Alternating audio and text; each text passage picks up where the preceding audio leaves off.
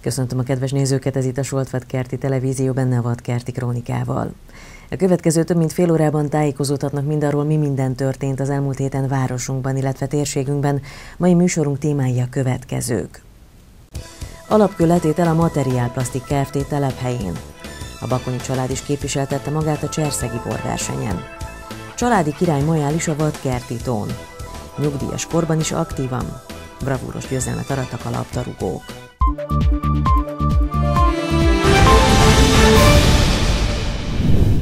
Jövő év tavaszára készül el az az üzemcsarnok, amelynek alapkövét május 4-én tették le a Materiál Plastik Kft. telephelyén. A cég most induló 3,1 milliárd forint összértékű beruházásához a kormány 1,4 milliárd forintnyi pénzügyi támogatást nyújt.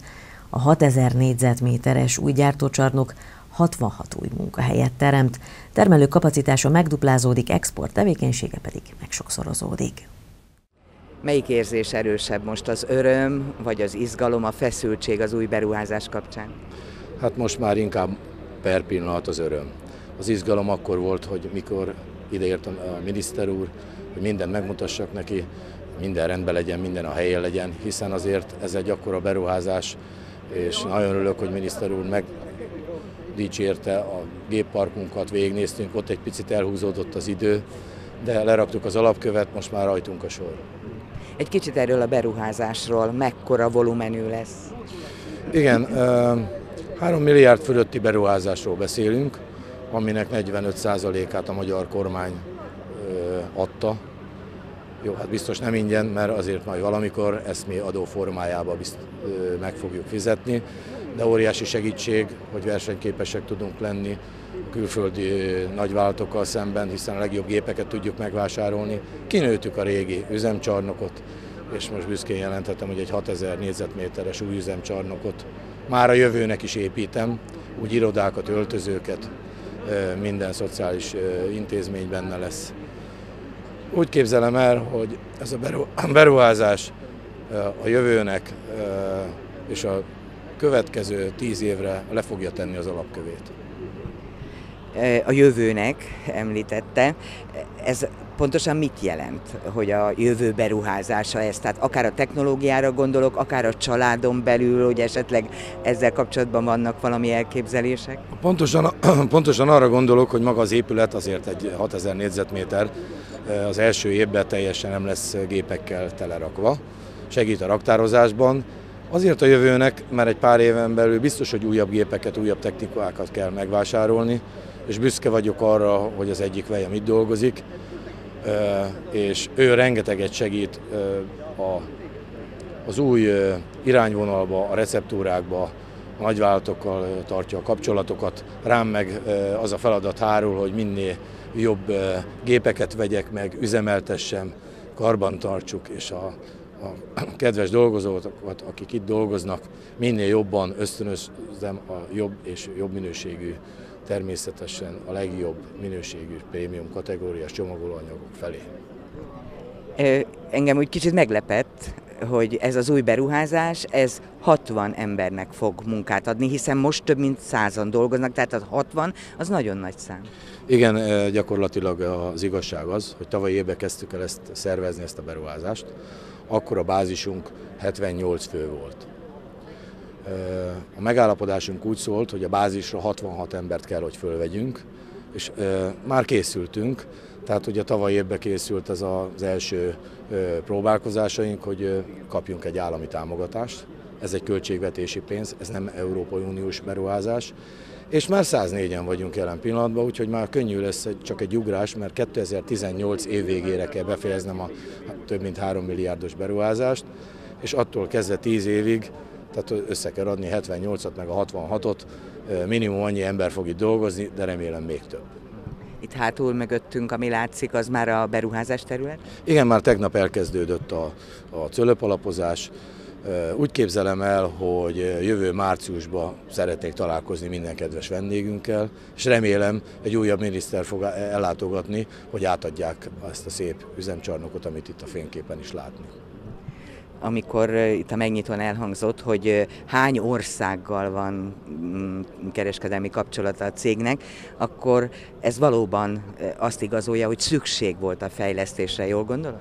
Igen, hát mindenki tudja, hogy a magyar piacok azért szűkösek. A prémium kategóriás csomagoló anyagokra mindig szükség van. Természetesen mi is szeretnénk az export tevékenységünket fejleszteni, hiszen egy euró azért az még mindig euró, mert euróért is vásárolunk nyomdafestéket, egy részét a granulátumnak, tehát így balanszba lesz a kettő, tehát lesz forintbevételünk, euró, és akkor nem kell váltogatni, úgy gondoljuk, hogy ez egy jelentős dolog, hogy mi külföldre is szállítunk. Úgy születnek ezek a kereskedelmi kapcsolatok a, a külfölddel, hogy hallják a materiálpasztik hírét és jelentkeznek, vagy önök kutatják a piacokat? Hát nem teljesen. Egy része, mint régen a szájhagyományként terjed, ugye kicsi a világ az internet világába, de el szeretném mondani, hogy minden miniszterelnöki delegációban részt veszünk, úgy, mint a Vejem Német Attila, és próbálunk kapcsolatokat teremteni a külföldi ö, olyan potenciális vásárlókkal, akik esetleg a szemszögünkben van. Hát bízom benne, hogy egyre több országot megcélzunk. Egyrészt könnyű helyzetben vagyunk, mert a Vajdapapír Kft. az több országba is szállít. Tehát eleve már közvetve is ott vagyunk. A Coca-Cola-nak több töltőállomása van Európában, és megnyertünk egy nemzetközi tendert, már tavaly is, most is indulunk, indultunk egy Coca-Cola tenderen, akkor már mindjárt egy 5-6 ország kapcsolódik hozzánk.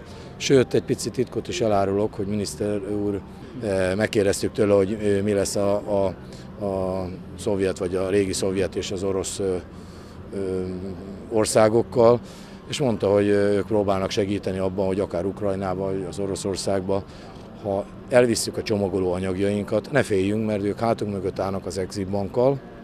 Ha esetleg 120 napra nem fizetnek, vagy előtte is már kifizeti a magyar bank ezt nekünk, és ők kardoskodnak azért, hogy ez a pénz megjöjjön.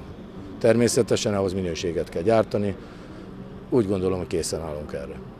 Visszatérve egy kicsit a munkaerő piaci helyzetre, ugye még azért kell felvenni dolgozókat, hogy ez az új csarnok is működni tudjon. Könnyű a mai világban szakképzett, jó munkaerőt találni? Hát kicsit nehéz. Eddig mindig azt mondtam, hogy mindenkinek a nagypapáját, nagymamáját ismerem, fölvettük, megtanítottuk, vagy régi szakemberek már.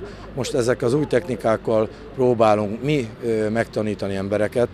Régi vágyam volt egy iskola, de az most egyelőre még várat magára de a szakembereket megpróbáljuk mi képezni. Én megmondom őszintén, a pénz fogja ösztönözni őket, szeretnék a legjobb fizetést adni kerten, és akkor majd meglátjuk, hogy egy jó baráti készfogással, egy jó fizetéssel, egy jó munkahelyel, egy, egy aránylag világszínvonalú gépparkkal meg fogjuk találni azt a munkatársakat, akiket keresünk. Úgyhogy mindenkit fölhívom, hogy hajrá, materiálpasztiknál van fölvétel akkor én csak sok sikert tudok kívánni ehhez az új beruházáshoz. Nagyon szépen köszönöm. Felkérem Matthias Kaufmann urat, az RKV Group vezérigazgató helyettesét, hogy Font Sándor és dr. Kerényi János országgyűlési képviselők jelenlétében Garami Zoltán tulajdonossal írják alá a tíz éves beszállítói partnerszerződést.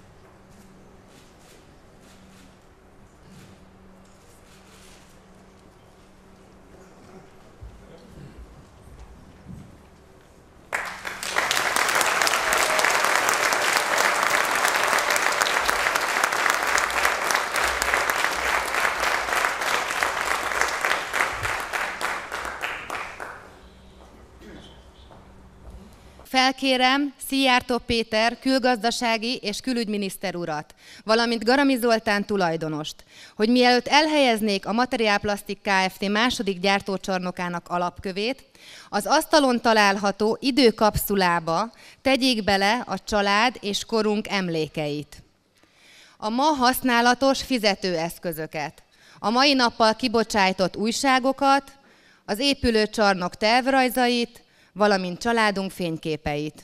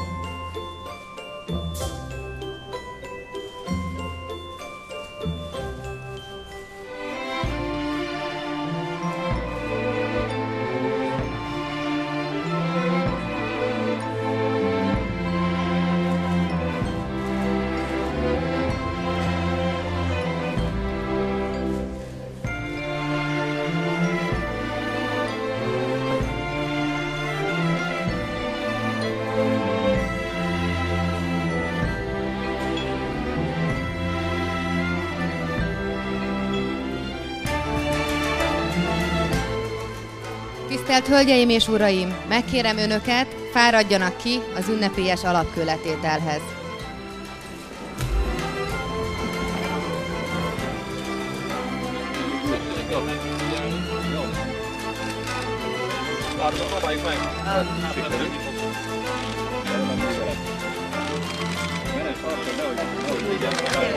Nézzenek fel! Köszönjük!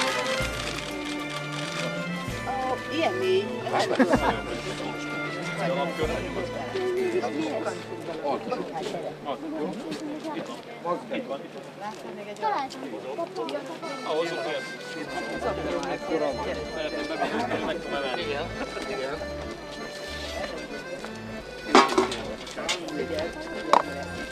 Nagyon gondolják, hogy bár inkább ezt csinálnám mindig.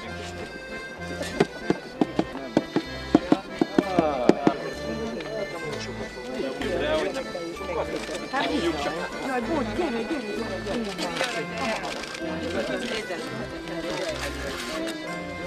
Gyere csak. Köszönöm, gondolj! Gyere ide, ugye mellé. Jó?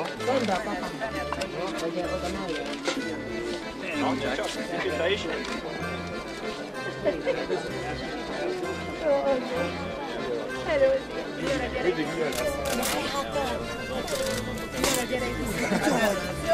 Megkérjük itt a szakembert, a Magtaton tulajdonosát.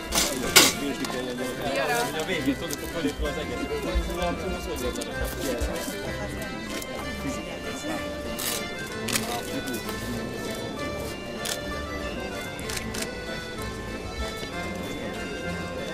Megkérjük meg azért. Van egy szakember. Családias képet hadd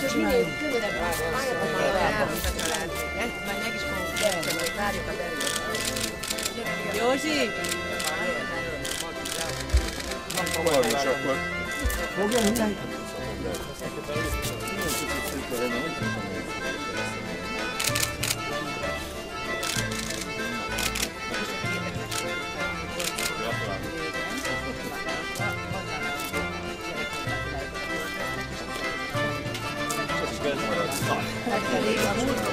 Thank you. Mindenki! Nincs hulladék, így Mindennek történelme. Recycling cool. Én azt hiszem, hogy csak mondjátok, nem csak mondjátok,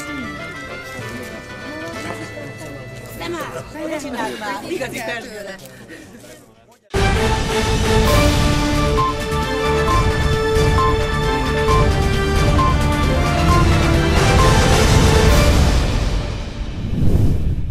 Elmúlt adásainkban már láthattak beszámolókat az április 28-án megrendezett 22. Cserszegi fűszeres és 6. Írsai Olivér országos bor és pálinka versenyről.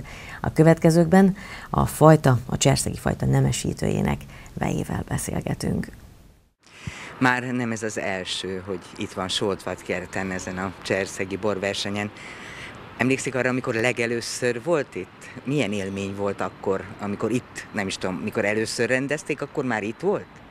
Amikor először rendeztek, természetesen nem, mivel 22 évvel ezelőtt volt. De 9 nem olyan régen van Soltvatkerten, én erre gondoltam, hogy itt nálunk. Itt volt az első borversenyen? Szerintem, amikor először jöttem, pont amikor a Kárcsi bácsi odaadta a Fritmaneknak ezt a, ezt a joga, pont ekkor volt. Hát azóta egy pár éve eltelt, és... Um, Minden évben itt? Nem, nem, nem, nem, nem. Kimaradtam egy kicsit, mert ki kellett, hát ki kellett, nem. Uh-huh. Úgy döntöttük, hogy kint megyünk élni, csak visszajöttük Magyarországra, és ez most a ez szerintem negyedik alkalom egymás után itt vagyok. Az akkor 2013 óta, 2014 óta. Ugye nézők is tudják, hogy ön ki. Elmondaná, hogyan került kapcsolatba a Cserszegivel, illetve annak a nemesítőjével? Na, olyan történet, hogy persze én francia vagyok, és Franciaországban tanultam a szakmát, és pont akkor voltam egy ilyen olyan iskolaba, Angéba, amikor oda került a Kárcsi bacsinak a, a zúnokaja az iskolába, és hát egyszerűen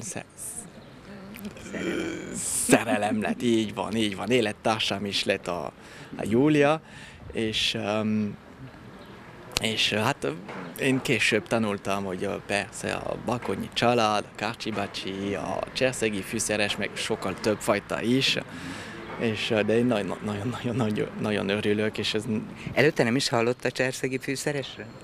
Abszolút nem, abszolút nem. Az, tényleg ez, ez, ez egy fajta, ami oké, okay, Magyarországon van, ez egy terjedt fajta, kül, külföldön, őszintén Franciaországban nem is láttam egy palack Franciaországban, de amikor először hazavittem egy palack cserszegi, azt hiszem a Jásdi pincészettől volt, ezt a palack 2006-os, 7-es évjárat, nem emlékszem pontosan, oda karacsonyi ünnep volt, a családnak ilyen 30-an voltunk, és mindenki azt mondta, Maxim, az mi? Az nagyon jó ez a bor.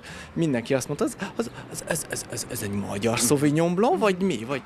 És el kellett magyaráznom, hogy cserszegi fűszeres, és inkább a Lia segített, hogy na, a nagypapám se csinálta írsaiból, nagyon-nagyon nagyon kemény volt. Azóta változott valamit a helyzet? Ugye mondta, hogy hát régen nem ismerték Franciaországba se, meg Nyugat-Európába se a cserszegit.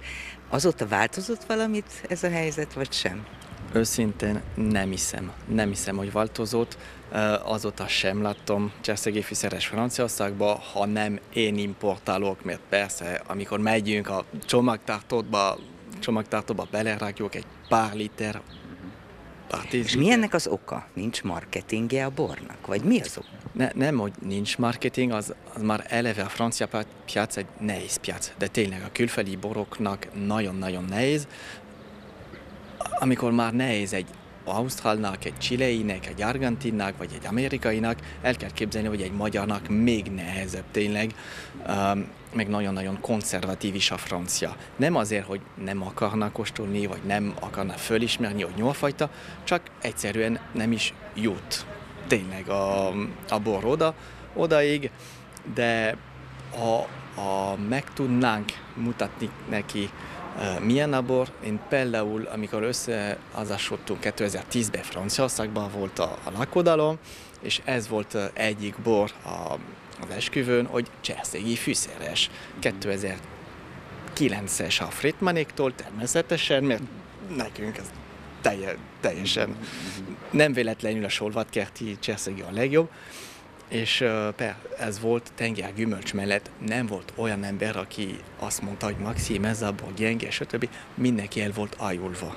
De tényleg, mindenki olyan jó, az a sava, az a tenger gyümölcs mellett egyik legjobb bor a cserszegi fűszeres, és mi, mindenki el volt ajulva, azután az esküvő után úgy döntöttük, hát lehet föl kéne kicsit szaporítani ezt a, ezt a nevet, és uh, nagyjából ilyen két haklapnyi bor hoztunk Franciaországba, és mindenki, mindenki úgy, úgy, úgy volt, hogy na, kéne nekem egy doboz, kéne nekem két karton, három karton, négy karton, ennyi, de amióta már nem ott lakunk, végül is nem, nem nagyon tudunk promotálni, persze a szüleimnek küldjük folyamatosan, de kicsit nehezebb a, a helyzet, de biztos, hogy tetszik a fajta, biztos, hogy tetszik a fajta, csak uh, nincs titok, ha nem vagyunk ott, akkor nagyon-nagyon nehéz az egész. Jó helyen van ez a borverseny itt Soltat kerten, úgy gondolja? Száz százalék, bizony nincs mese, nincs mese, tényleg, tényleg jó. Az... Miért gondolja ezt? Um, hogy lehet mondanom? 2000, azt hiszem 2005 óta járok Magyarországra, azóta számtalan cserszegit kölcsöltem, de tényleg balatoniak, meg alföldiek. Nem volt olyan balatoni cserszegi, ami olyan elmény hozott nekem, mint ezek a, az, a, az alföldiek. Tényleg ez a talaj, ami itt van Solvatkerten, ez szerintem alkalmas neki. Ja, ennyi. Így, így, erről lehet tudni a fajtáról, erről lehet mondani nem, ez a, tényleg, az a, a Kárcsi bácsi nagyon, nagyon rájött, hogy hiába Cseszek Tomajon találta, ki nemesítette, ott már látták, hogy valami jól van benne, mert gondolom ezer magok között volt a, az egészet, de most lassan egy, egy pár évtized tapasztalat is van, és egyre jobban láttunk, hogy tényleg itt a, az Alföldön, és lehet solvatkerten is vannak a leg... Lassan a, a solvatkerti ezer jól fog tűnni a cserszegé vagy nem tudom, hogyan kell mondani, de, de tényleg, tényleg ezt a ne, ne, ne, nehéz magyarázni, de tényleg ezt az illat, zamat, a különlegességét jobban, jobban lehet összehozni a cserszegiból. Én már lassan négy éve dolgozok a Balatonparton, nem volt olyan éven, és pedig próbálok, mert nekem ez egy családi kihívás, próbálok minden évben, de nem lehet olyanból összehozni, mint itt, amit tudnak évről évre folyamatosan. Programokban bővelkedő majálisra hívta dolgozóit a Királypék és társa Béti Avat kertitóra. Az időjárással is szerencséjük volt, ugyanis százágra sütött a nap, így a családi vetélkedő, a lovas kocsikázás, az ugrálóvár, a lovaglás és egy színjátszó társulat mesejátéka maradandó élményt jelentett a résztvevőknek. A Soltvat kertiek mellett a környező településeken működő üzletek munkatársai és családtagjék is ott voltak a Királymajálison. Rettentő jó a hangulat, gondolom, hogy hallatszik a zene, élvezik a szabad levegőn létet. Ez hagyományos rendezvénye a királypékségnek? Igen, mondhatom, hogy hagyományos, csak attól különbözik az eddigiektől, hogy most szabad téren vagyunk, hiszen minden évben, az elmúlt években mindig egy zárt helységben, azaz az Anna vendéglőben történt meg az esemény megszervezése, és most úgy döntöttünk, hogy idén változhatunk ezen, és kijövünk a szabadba, kockáztatva az időjárási bizonyokat, hogy vajon jó időnk lesz-e vagy sem, de eddig úgy gondolom, hogy jól jártunk. Így van, kegyes volt hozzátok az időjárás. Kik vannak most itt? Kiket hívtatok?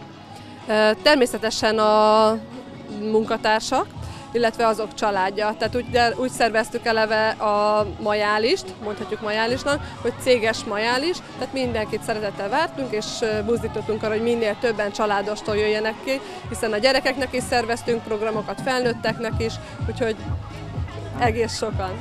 Mondom, nem csak vadkertről. Nem, akasztó, kiskörös, kecel és a sortfatkerti települések, ahonnan elméletileg ugye boltjaink is vannak, onnan érkeztek igazából a munkatársak és családtagjaik. Említetted, hogy gyerekeknek és felnőtteknek is eh, szerveztetek programokat. Mik ezek? Hogy zajlik a mai nap? Csapat Hát igazából a kezdetek az 9 órakor kezdődött a pékségben, ott volt egy gyülekező, ahonnan kerékpárral és lovaskocsival lehetett kijönni ide a helyszínre. Miután kiérkeztünk, utána kezdődtek a csapatversenyek. Itt gyakorlatilag minden egyes boltnak volt egy csapata, akik beálltak versenyezni. Ekközben felállították a légvárat, illetve megérkeztek lovakkal animátorok, akik lehet majd lovagolni, vagy már folyamatosan is lehet lovagolni, illetve még van a lovaskocsikázás, ami körbeviszi a, az embereket, vagy a tömeget itt a tó körül, valamint majd kettő órakor lesz egy színésztársulat jön Ceglédről, a Bohorka társulat, ők a búzamese történetet fogják előadni tulajdonképpen. Akkor kezdjük az elején, csapatversenyeket említettél. Milyen fajta versenyek voltak ezek? Igyekeztem olyan játékokat választani, ahol ö, több szereplős nyilván, és a népi játékok között kutakodtam. Az internet segítségével az nagy segítség volt, és akkor onnan választottam ki mocsárjárás, százlábú, zsákbaugrás, kötélhúzás, és ehhez hasonló kis játékok voltak. Ezek az egyes üzletek alkottak egy-egy csapatot, vagy családok alkottak? A csapatokban igen, igen, a munkatársak, illetve azok családtagja is részt vehettek. Nem szoktam megkötni ezeket a dolgokat. Az a jobb, ha minden többen vagyunk benne. Mindenki legyen lelkes tagja a dolognak. Jól sikerült a csapatverseny? Szerintem igen, mert nem fáztak a végére. És megvan már az eredmény? Ki győzött? Megvan, igen. És nekem elszabad árul? Igen, a piasztéri csemege lett az első helyezett. Volt ennek valami oka? Mert gondolom, hogyha úgy véletlenül verbúválódott össze egy csapat, akkor azért fontos volt, hogy több volt a férfi ember, vagy több volt a hölgy. Hogy alakult ennek a győztes csapatnak az összetétele? Náluk pont úgy volt, hogy öten voltak az üzletből, tehát nem is volt egy nagy létszámú csapat. Kiegészültek itt a pék munkatársokkal, lelkes családtagokkal még a csapat, és akkor ezekkel együtt volt a piasztér igazából egy csapat tulajdonképpen. Említetted, hogy kilenckor kezdtetek, meddig Igen. tart a rendezvény?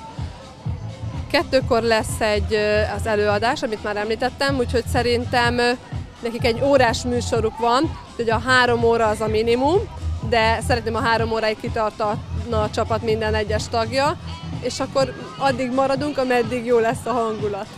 És ez olyan batyus majális? Tehát mindenki hozta az elemózsiát, vagy esetleg a királypékség is segít, hogy mindenki jól lakjon? Természetesen, mivel ugye ez egy céges majál, és ezért nekünk kell ezeket a dolgokat ajánlani, felajánlani. Kecelen a fürtös vendéglőt választottuk, ők, fognak, ők települtek ki, ők fognak nekünk sülteseket feltállalni, illetve pörköltet. Kis pogácsával mi is készültünk, igen, a vendégváról, azt mi sütöttük meg reggel, hogy legyen ez a mostani majális, ugye említetted, hogy ez egy hagyományos rendezvény, de a cégnél nem csak a majális hagyomány. Ha jól tudom, akkor egyszer beszélgettünk egy műsorról, ahol ugyancsak minden részlege a cégnek részt vett. Idén is volt, vagy majd lesz? Nem, ez a helyébe van, tehát az volt elméletileg, ez most azt váltotta ki ez a majális, tehát a majális igazából ez az első év, amikor debütál, és előtte mindig ezek a céges rendezvények, az mindig az Anna vendéglőben volt, most ott aznak be vége van, vagy nincs vége, folytatjuk, itt folytattuk ki, megpróbáltunk kihozni szabad térbe ezeket a dolgokat, viszont most nem kellett beöltözni, nem kellett úgymond úgy szerepeltek a csapatok, hogy csapatjátékokban vettek részt, most az volt a szerep. Még majd egy szereposztás lesz talán, a legjobb szurkoló csapat, készültek versekkel, koreográfiával, azt még majd azért be fogják mutatni, mert megkérem őket, hogy a legjobb szurkoló csapat azért, az még annak a kérdése, annak az érme még nincsen kiosztva, úgyhogy azt majd még elő fogják adni szerintem itt nem sokára. Én emlékszem rá, hogy amikor az a bizonyos műsor volt, és akkor beszélgettünk, akkor azt mondtad, hogy a célja annak a rendezvénynek egy csapatépítés, hogy jobban összejöjjön a cégnél dolgozó gárda. Ugyanez most a cél? Tulajdonképpen ez, bár itt biztos, hogy nehezebb, mivel hogy ott régebben azért így, hogy szerepeltek, ott volt egy előtte való közös felkészülés, ami a csapatot összehozhatta. Itt valójában nem kellett készülni, de remélem a vége ez lesz, a végeredmény azért itt is ugyanaz fog lenni, de valójában nem olyan csapatépítő ez most, mint ami régebben volt, vagy eddig, eddigi rendezvényeinken. Most igazából itt épült a csapat, itt a helyszínen építettük a csapatot, ez most cégépítés volt. Elmondják velünk? Mert sosem megyünk haza, ha nem mondják. Na. Mag, mag, búza, mag, nőjér. Na még egyszer, ugyanezen a hangon. Mag, mag, búza, mag, nőjér, nőjér. Akkor nőtt egy kicsit. Mag, mag, búza, mag,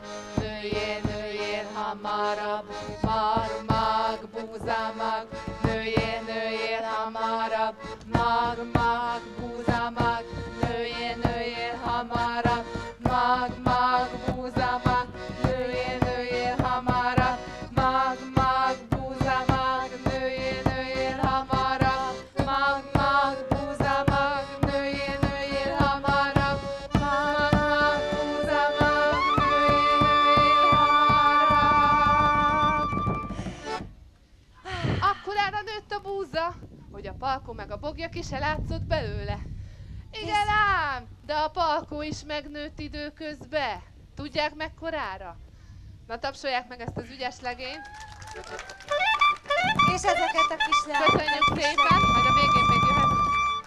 Egészen ekkorára nőtte. Gyertek, üljen! Üljen! Üljetek csak le! No gyere már, palkó, hát Édes jó Istenem! Na, hát a palkó szép nagyra nőtt. Bizony. Ügyesen meg is tudta fogni a kaszát. Azt hittem, hogy engem! Ja, persze! A bogját meg is táncoltatta, kérünk nekik valami muzsikát.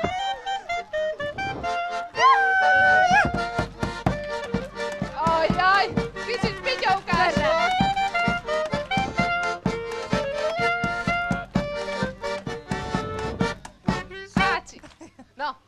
Hogy most jó érzed magad, mi? Hát nem. Na, kérek szépen egy kis komolyságot, mert most komoly dolog következik. Bogja, egy cseppet se aggódj, én megtanítom a palkót kaszálni. Mit szólsz? Nagyon jó lesz az. Igaz? Na, kérem szépen, Palkó fog meg a kaszát. Tud itt valaki kaszálni? Azt hiszi, hogy én vagyok a kasza. kaszálni? Jöjjön már, mutassa meg neki, hogy kell a szegénykém. Fogalma sincs, hogy melyik old. Nem kell! Hely! Aja! Ja. Hát, nehogy már! A palkó az maga, ez csak megtanítja, hogy hogy kell kaszálni. Na.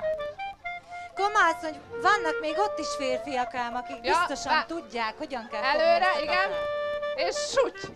Jó, várjanak, várjanak, jöjjenek még segíteni legények. Palkó, csenges, hol a csengő? Ja, a csengő hol van? Itt van. Na, csengezd meg azt a csengőt, hogy jöjjenek a legények. Hát nem hallják így. Édes is. Jaj, na. Na jöjjön, segítsen neki kaszálni. Ken nem tud kaszálni? Nem? Ah, megette a fele. Ken nem tud kaszálni? Én még ilyen legényeket nem láttam. Kent biztos kaszált életibe, nem?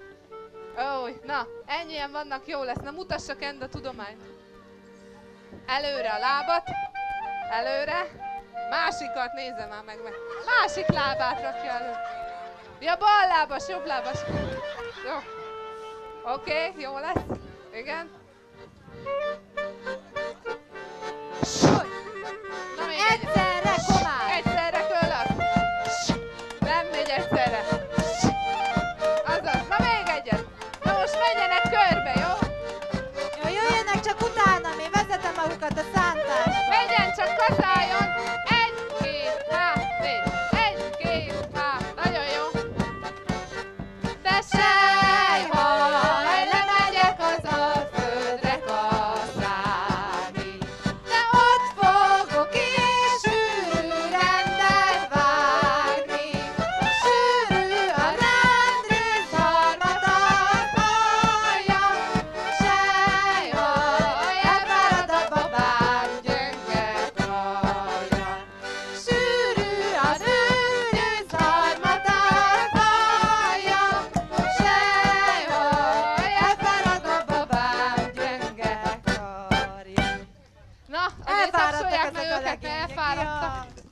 Köszönjük szépen. Köszönjük szépen!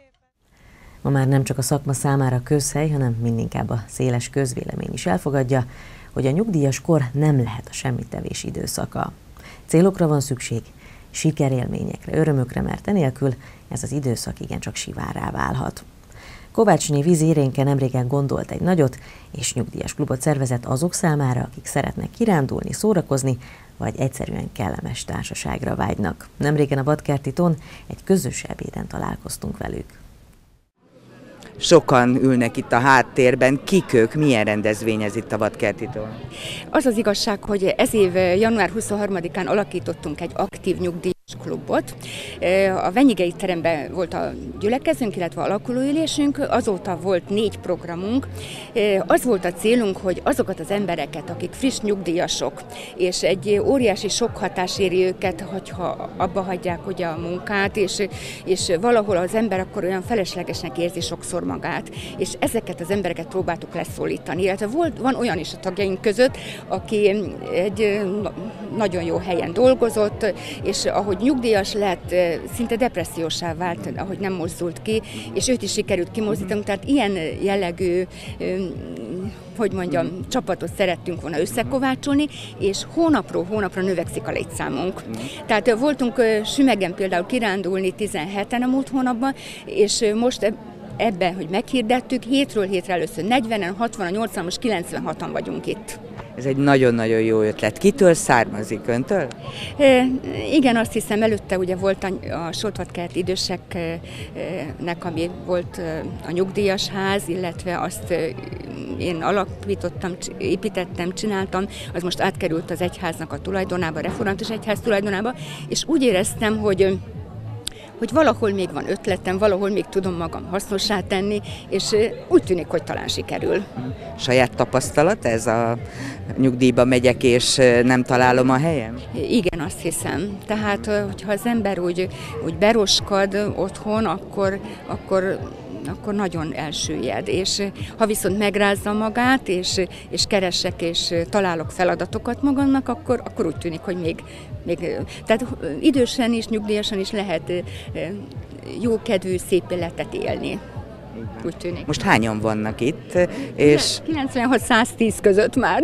Vannak olyanok is, akik nem jelentkeztek be, két hatalmas bográccsal főzünk, az egyik egy 26-28 kilós kakaspörkölt, a másik pedig egy birkapörkölt, és hát ezt próbáljuk így. Ki a mester ott a bográcsok körül? A mester, igen, a Jákob János, ő főzi a kakaspörköltet, a Szekeres Sándor, ő pedig a birkapörköltet, ő már egy őség óta főzi, úgyhogy a reméljük, hogy jól sikerül.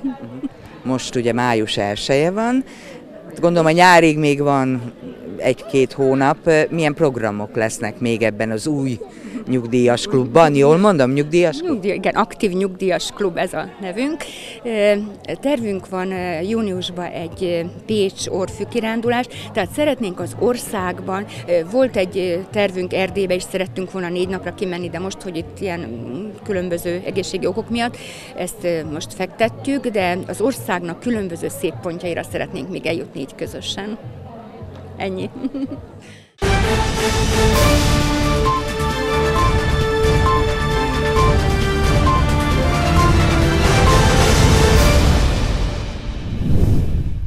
A megyei első osztályban szereplő Kerti TL labdarúgó csapata a bajnokság 25. fordulójában hazai pályán fogadta a Bajai Jelese együttesét. A mérkőzésen a vendégek szereztek vezetést, ami után a hazaiak nagy bravúrral megfordították az eredményt, és végül 4-2-re nyertek Andrócki Szentmiklósi Szarka és Soproni találataival. Egy nagyon jó csapat ellen léptetek ma pályára. Mit gondoltál a mérkőzés előtt? Lesz-e esélyetek esetleg egy jó eredményt elérni? Hát ez mindenféleképpen gondoltuk, hogy van esély, mert azért hazai pályán ilyen szuper körülmények között mindig jó játszani. Azt tudtuk, hogy egy jó csapat, de tavaly is, tavaly mérkőzés mutatta, hogy simán fel tudjuk velük venni a versenyt, hiába vannak a negyedik helyen. Szóval bizakodva jöttünk ki a meccs kezdetére is. Ma már egész jól mozogtatott itt a valódi, igazi füves pályán. Azért tudtok már edzeni is, hogy látszik a csapaton az, hogy egyre inkább megszokjátok ezt az új környezetet? Igen, tehát számít az, hogy milyen pályán ez az ember. Nem, nem gondolná az ember, de, azért sokat tud számítani. Nem tudom, hogy mennyit szoktak edzeni a srácok, mert hétközben nem vagyok itt, de az mindenkivel számít, hogy már itt tudunk játszani, és úgy gondolom, hogy meg is látszik. Neked amúgy melyik fekszik jobban, a füves pálya, vagy esetleg a műfüves? Ez nekem igazából mindegy, tehát ilyen jó körülmények között játszani mindig öröm, hogy gurulabda is nem pattog, de a füves az igazi. Nem véletlenül arra találták ki ezt a játékot. A mérkőzés elején ugye kaptatok egy gólt 0-1 után, gondoltad, hogy még van annyi bennetek, hogy megfordítjátok a mérkőzést? Már máskor is fordítottuk meg a meccseket, meg játszottunk itt döntetlen, szóval az még egyáltalán nem, nem volt lefutva. Bíztam benne, hogy kiegyenlítünk, meg akár nyerhetünk, és, és így is lett. A mérkőzés 3-1-es szakasza után, amikor megszereztétek a harmadik gólt, azért volt egy kemény nyomás az ellenfél részéről. Hogyan láttad belülről, mennyire sikerült azért azt kihúznotok, hiszen ott azért volt sok-sok beadott labda, belőtt labda, támadott nagyon a, a bajai csapat, szinte beszorultatok teljesen a saját 16-osotokra. Hát őszintén szólva én nem éreztem így, hogy nagyon beletünk volna szorulva. Lehet, hogy ők többet birtokolták a labdát, de nagy, nagyon nagy zicsereik nem voltak. Tehát eljutottak a mi térfelünkig, de onnantól kezdve már meddőjáték volt, és nem tudtak helyzeteket kialakítani. Én legalábbis belőle egyáltalán nem aggódtam három ennél már. A végén visszaálltatok kontrára? Egymás között ilyenkor megbeszéltek a megnyugtató előny a biztos vezetés tudatában? Hát ilyenkor már nem kell kitámani, három egyre vezetünk, akkor inkább legyen fönt a labda, ott küzdjenek megérte, és legyen a biztos védekezés. Most is ezt csináltuk. Soproni gólját hogy élted meg a végén? Hát akkor aztán a végleg eldőlt minden. Nem tudom egyébként, hogy les volt-e vagy nem. Innen hátul olyan gyanús volt, de szépen megcsinálta, és bebiztosította a győzelmet. Ebből a mérkőzésből lehet-e építkezni a hátralévő fordulókra, illetve hogyan látod annak lehetőséget, hogy a csapat a tabellán még erőlébb lépjen? Hát egy ilyen jó csapat ellen győzelem az mindig pozitív, és ebből lehet építkezni, szóval az a jövőre nézve mindenféleképpen pozitív számunkra. Még van pár meccsünk, de még pontokat simán szerezhetünk, tehát akár még ha jó is alakul a többi csapatnak az eredménye, akkor előrébb is léphetünk. Azért egy néhány mondatot beszéljünk a gólodról, hiszen egyet fejeltél. Igen, már régóta vártam, hogy egyszer megtaláljon a labda, most kis szerencsével, de sikerült. Igazából mindig ilyenkor előre szoktam menni beadásoknál, szögleteknél, csak ritka az, hogy pont a labda, de most szerencsére jól pattant az Olikának a lövése, és szerencsénk volt. Az akasztói döntetlen után hogyan készült a csapat, hiszen azért egy nagyon jó erőkből álló baját fogadtatok? Igen, az akasztói meccs az nem úgy sikerült, ahogy mármint eredményben, ahogy szerettük volna. Győzelem reményében mentünk oda. Sajnos kihagytuk a helyzeteinket, és csak egy ponttal távoztunk. Igazából a pálya adottságai miatt nagy szemrehányást nem tettem a csapatnak. Mindenki akart, küzdött. Ezt kértem a mai mérkőzésre is. Ez egy jobb pályán fogunk játszani, valószínűleg sok néző előtt egy jó csapat ellen, akik próbálnak támadni, lehet ellenük futballozni, és azt gondolom, hogy egy élvezetes jó mérkőzés játszottunk. Most úgy tűnt, hogy azért posztokban nem variáltad át a csapatot a megszokott rendszerben álltatok fel. Ez jelentett valami pluszt a csapatnak, illetve tudtatok ebből jobban építkezni, úgy gondolom támadásban. Igen, most ö, mindenkit úgy nagyjából az eredeti posztján játszottam. Játszottunk már így ugye sokszor, ezek kivételes alkalmakkor egyszer-egyszer variáltam így bele taktikai okokból. Azt gondolom, hogy erre a mérkőzésre, amit a héten is gyakoroltunk, hogy fönn van az ellenfél, lesznek mögöttük területek, és ezeketnek a megjátszására építettük föl a heti edzést. Helyek közel ezt inkább a másik fél meg is tudtuk valósítani, ebből voltak lehetőségeink azt gondolom, hogy most ebbe a szerkezetbe ütőképes volt a csapat, meg is tett mindenki mindent, úgyhogy elismerés érte mindenkinek. 0-1 után nem voltál ideges?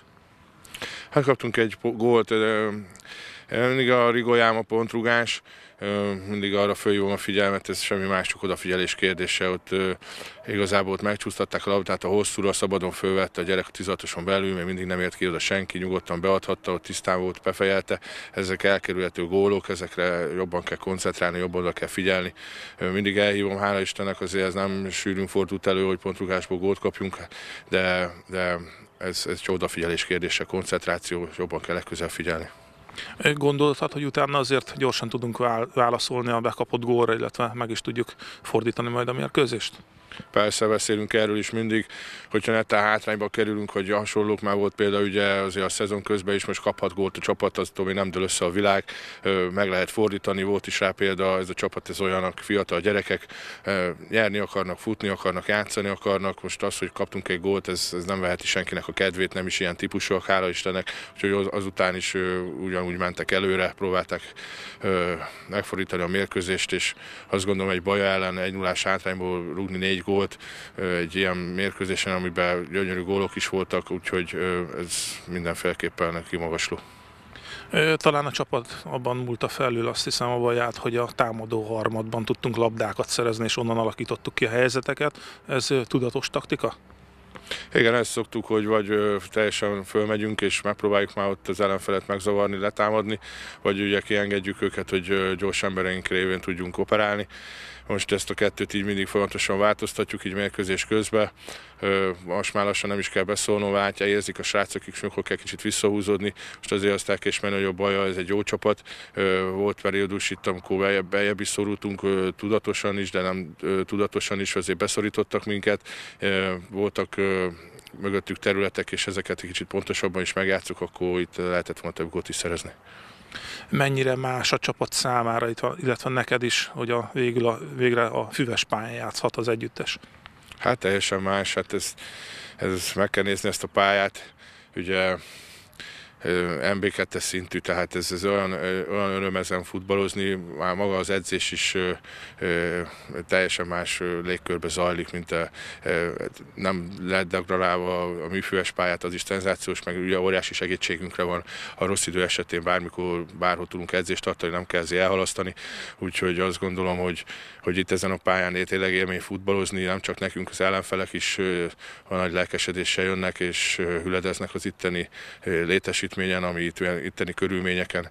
Úgyhogy a, ami a hét mottoja volt, hogy, hogy, hogy mikor lesz ennek vége, hát két és fél év múlva lehet, de nagyon bízom benne, hogy ennek nem lesz vége, hanem még inkább szebb és hasonló színvonalú létesítményben fogunk továbbra is dolgozni, edzeni és mérkőzéseket játszani. Egy egy város, egy nagy város baja, nagyon szép város, jó csapata van. Egy ilyen csapat ellen itthon tudunk ilyen mérkőzést játszani, ahol, ahol tényleg közönség szórakoztató, sok gólos mérkőzést, nyílt sisakos mérkőzést, és ebből, ebből a, ezekből a mérkőzésekből jól tudunk kijönni. Mindenféleképpen ez pozitív, úgyhogy nagy elismerés a csapatnak, tényleg mindent megtesznek e héten is, és azt gondolom, hogy teljesen megérdemelten nyertük meg ezt a mai mérkőzést. Kedves nézőink, ennyi volt már a Vadkerti Krónika, amelynek legfrissebb számát a szokott időben jövő héten, kedden este 7 órakor láthatják, de tartsanak velünk továbbra is, hiszen már is jövünk a Solt Vadkerti magazinnal.